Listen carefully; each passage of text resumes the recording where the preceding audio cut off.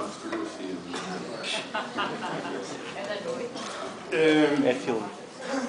Eu quero, em primeiro lugar, saudar-vos, eh, saudar a Fundação, a Fundação Frederic Ebert e, em primeiro lugar, a Fundação Ruben Rolo e os eh, queridos camaradas da, da corrente sindical socialista da CGTP. São, é convosco que, esta, que este diálogo se faz, que esta reflexão se produz. Eh, quero dizer-vos que é com muito gosto estou aqui. Eh, estou aqui, a, a- portanto, a, a um convite, respondendo a um convite que me foi endereçado eh, pessoalmente e que aceito com muito gosto, mas não dispo eh, nenhum dos fatos que tenho que vestir todos os dias. E, portanto, eh, eh, não dispo da minha função de sindicalista, de secretário-geral da CGTP, mas, repito, quero dizer-vos que é em nome pessoal estou aqui eh, e com muito gosto de partilhar nesta reflexão. Eh, Eu tinha aqui algumas notas eh, que gostava de desenvolver, que entretanto já foram pegadas pelo livro Estanque. É curioso que ele disse-me, olha, vais falar a seguir, então prepara-te, que certamente já te ocupei algum espaço. Não é mau, e fiz aqui uma, uma ligeira inversão, hum, mantendo os temas. Eh, O desafio de falar numa agenda sociopolítica pós-crise leva-me, desde logo, a uma observação de partida. Nós estamos aí todos os dias a falar, eh, a usar a palavra crise. E a crise, desde logo, precisa de ser, este conceito precisa de ser desconstruído, é? porque a palavra é usada para querer caracterizar essencialmente os bloqueios do funcionamento de um determinado sistema que beneficiava uns quantos. Ou seja, são esses que beneficiavam que puseram em evidência que eh, estamos em crise. Nós estamos, de facto, perante grandes bloqueios, mas quem está em crise são as, quem está em crise é a vida de um conjunto grande de pessoas. A crise não é do valor que se divulga todos os dias, desde manhã até à noite, do valor das ações na Bolsa.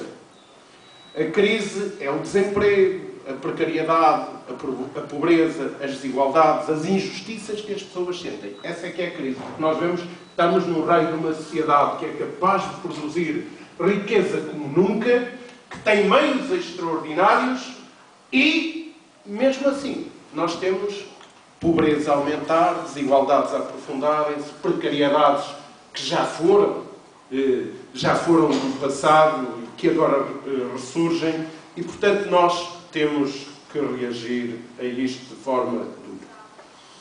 E fala-se da saída da crise, e eu usei a expressão pós-crise, mas, no fundamental, aquilo que nos estão a apresentar neste sistema em que estamos, não é? como saídas da crise, são propostas feitos, feitas pelos que nos andaram a receitar aquilo que devíamos fazer e a que nos devíamos sujeitar e que conduziu à crise.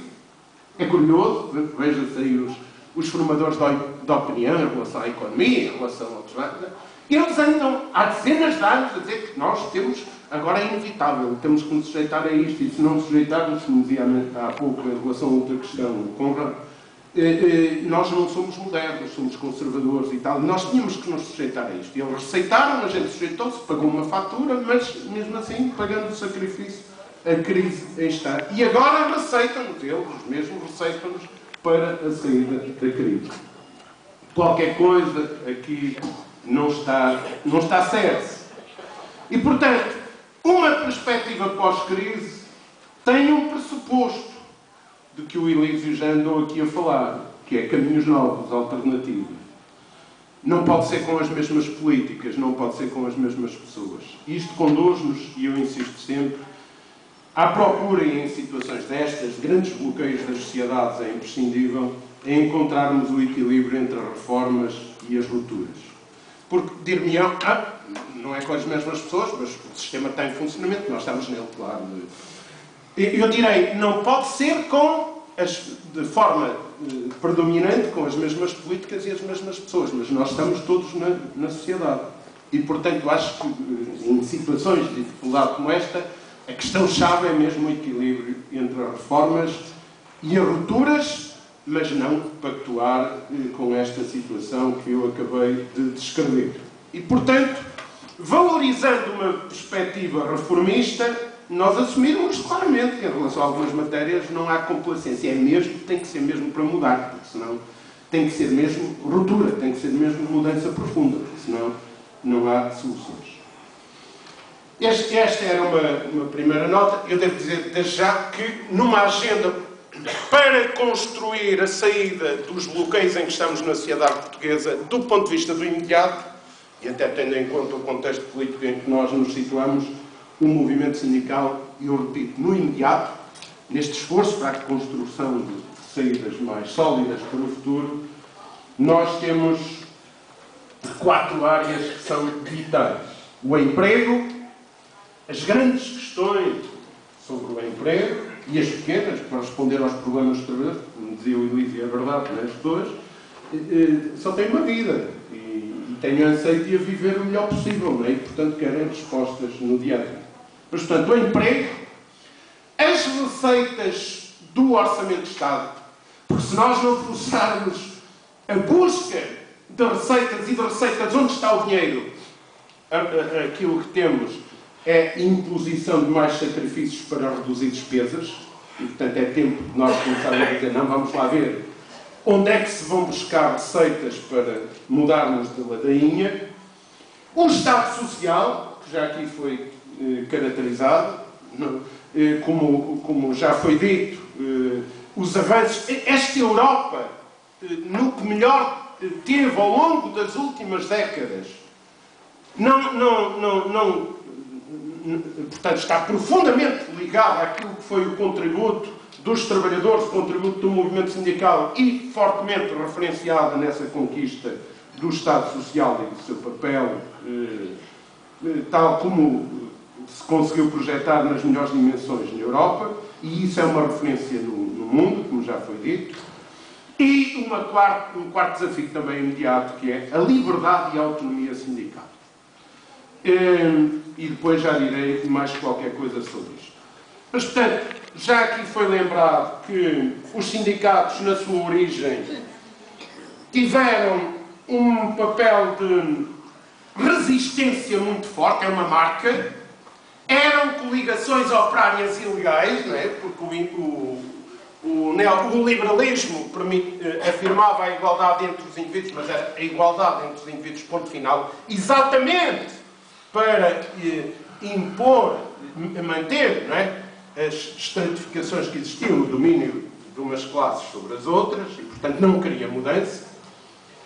E, o individualismo eh, puro era, era, era isso, e é hoje, ah, estamos hoje muitas vezes perante apelos a essa retoma, e portanto foi a afirmação do coletivo sobre o individual nessa reação. É curioso, já agora lembrarmos uma outra coisa. Nós ouvimos muitas vezes dizer, ah, o sindicato, em última instância, vozes geralmente, eh, eh, eh, geral, muitas vezes até à esquerda e numa certa esquerda social-democrata, ah, os sindicatos são indispensáveis. Não é? Porque os, os, os, neoliberais puros e duros, o sindicalismo é o inimigo a bater, ponto final. Não é? Mas outros ah, não, são, são indispensáveis. E fazem falta à democracia. Minhas amigas e meus amigos, há uma coisa que nós precisamos ter sempre presente e afirmar. Os sindicatos não são criação da democracia, os sindicatos são obreiros da democracia. Não há nenhuma família político-partidária atual, moderna, que seja mais construtora da democracia, tal como nós entendemos, que os sindicatos. E nenhum deles, nenhuma das famílias atuais existentes, eh, tem uma vida mais longa que a dos sindicatos. Os sindicatos estiveram no caldeirão social e foram um movimento fortíssimo nesse caldeirão ao longo dos tempos, mas na sua gênese, para dar origem a estas mudanças que nos conduziram àquilo que comumente referimos de modernidade. E, portanto, nós não somos uma. Não, não, os sindicatos